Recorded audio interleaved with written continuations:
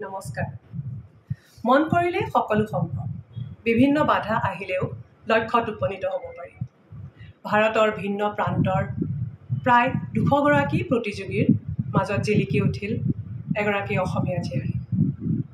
শিৰত পিন্ধিলে M I Q S Mrs India twenty twenty থ্ৰীৰ খিতাপ।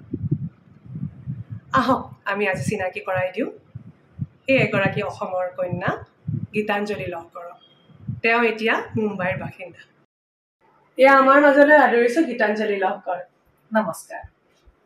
কেনেকুৱা অনুভৱ হৈছিল এই এৱাৰ্ড জয়ী হোৱাৰ পিছত আপোনাৰ? অনুভৱটো কেনেকৈ ক'ম বাৰু? খুবেই ভাল লাগিছিলে ecstatic I was really happy actually যেতিয়া কিবা এটা বস্তু খুব মনেৰে বিচৰা হয় আৰু সেই বস্তুটো পাবৰ কাৰণে বহুত বেছি চেষ্টা দিয়া হয় আৰু যেতিয়া সেই বস্তুটো একচুৱেলি আপুনি পায় ইট ইজ আনবিলিভেবল হেপনেছ এই গোটেই জাৰ্ণিটো আপুনি কেনেদৰে প্ৰিপেয়াৰ কৰিছিলে বাৰু?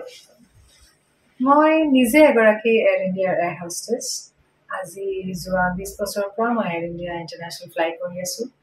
তাৰ যোগেৰে মই বহুত দেশ বিদেশ ফুৰিবলৈ পাইছোঁ আৰু যথেষ্টখিনি শিকিবলৈ পাইছোঁ।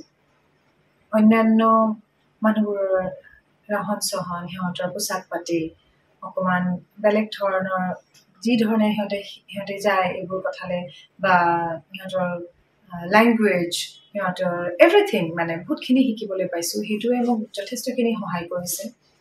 মোক বহুতখিনি এক্সপিৰিয়েঞ্চ দিছে। তাত বাহিৰে মই অকণমান পঢ়া শুনাও কৰিছোঁ। বিকজ মই জানিছিলোঁ যে ইয়াতে এটা কুৱেশ্যনিং ৰাউণ্ড আছে য'ত নেকি যিকোনো ক্ষেত্ৰৰ পৰা যিকোনো প্ৰশ্ন তোমাক সুধিব পাৰে। তাৰপিছত মই এটা টেলেণ্ট ৰাউণ্ড আছে। টেলেণ্ট ৰাউণ্ডটোৰ কাৰণেও প্ৰিপেয়াৰ কৰিছিলোঁ। কাৰণ তাত তুমি হয় তুমি ডান্স নহয় ছিংগিং নহয় মনো এক্ট তেনেকুৱা কৰিব পাৰা। চ' মই নিজে এগৰাকী ইণ্ডিয়ান ক্লাছিকেল ছিংগাৰ যিহেতু মই বিচাৰত কৰিছিলোঁ সৰুতে। চ' অকণমান গানৰো অভিজ্ঞতা ৰাখিছিলোঁ তাৰ লগতে এটা ডান্সো কৰিছিলোঁ। চ' এইবোৰ সৰু সৰু নানান ধৰণৰ প্ৰিপেৰেশ্যন মই কৰিছিলোঁ। এগৰাকী ৱৰ্কিং ওমেন আৰু আপুনি তাৰ লগতে এগৰাকী মাতৃ। হয়। এই দুয়োটা দায়িত্ব আপুনি কেনেকে চম্ভালিছিলে? ইয়াৰ? বাবে মই অশেষ ধন্যবাদ দিব বিচাৰোঁ মোৰ স্বামী। তেখেতৰ ছাপৰ্ট মোৰ আগৰ পৰাই যিকোনো ক্ষেত্ৰত মই যদি আগবাঢ়িব বিচাৰিছোঁ তেখেতৰ ছাপৰ্ট সদায় আছিল। আৰু যিহেতু বহুতখিনি ক্ষেত্ৰত যেনেকৈ মই এতিয়া চাকৰিয়াল মই যেতিয়া ৱৰ্ক লাইফ কাৰণে মোৰ ফ্লাইটৰ কাৰণে যাওঁ ঘৰ ল'ৰা ছোৱালী তেখেতে যথেষ্টখিনি চাই মোক সহায় কৰে।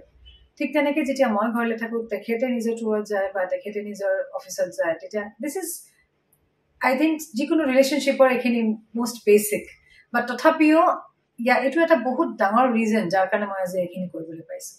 এই প্ৰতিযোগিতাটোত অংশগ্ৰহণ কৰিবৰ কাৰণে নিজকে বাৰুকৈ ফিট ৰাখিব লাগে। তাৰ কাৰণে আপুনি কি কৰিছিল বাৰু? মই প্ৰতিযোগিতাটোত ভাগ ল'ম বুলিয়ে নহয় আগৰ পৰাই মই জুম্বা কৰোঁ আৰু অকণ এৰিয়েল য়োগাও কৰোঁ।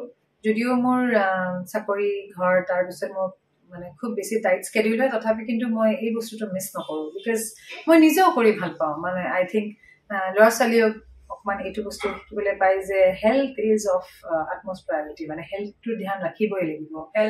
হেল্থ ইজ ৱেল্থ আজি যদি আমি হেল্থৰ যত্ন নলওঁ কালিলৈকে অফক'ৰ্চ হেল্থেও আমাৰ যত্ন নলয় ইউ ন' চ' সেইটো কথা মোৰ। সদায় থাকে। চ' সেইকাৰণে খুব এটা খাচ তাৰ কাৰণে বেলেগকে কৰা নাই। কিন্তু মই আগৰ পৰাই অকণমান তেনেকে এক্সাৰচাইজৰ প্ৰতি ধ্যান ৰাখিছিলোঁ।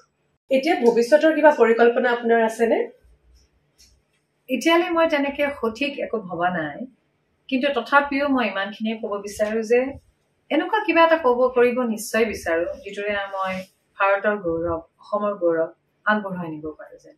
আপোনালোকে অশেষ অভিনন্দন আমাৰ ফালৰ পৰা। থেংক ইউ ছ' মাছ ধন্যবাদ। অশেষ ধন্যবাদ।